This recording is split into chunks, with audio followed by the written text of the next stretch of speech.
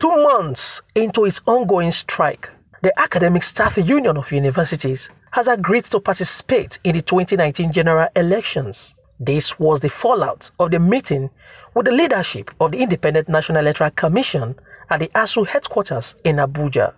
INEC fear that industrial action could affect its preparation for next month's election was allayed by the union.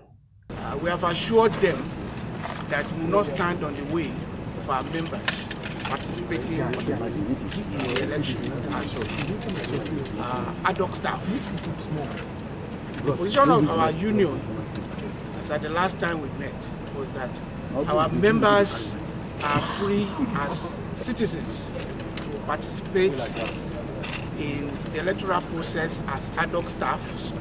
And we have restated that today that we are not going to stop any of our members who wishes to serve in that capacity.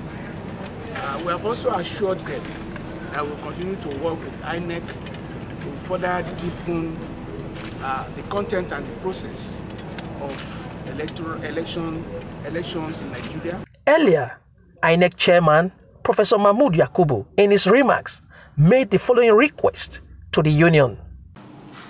Number one, continue with the existing collaboration with INEC.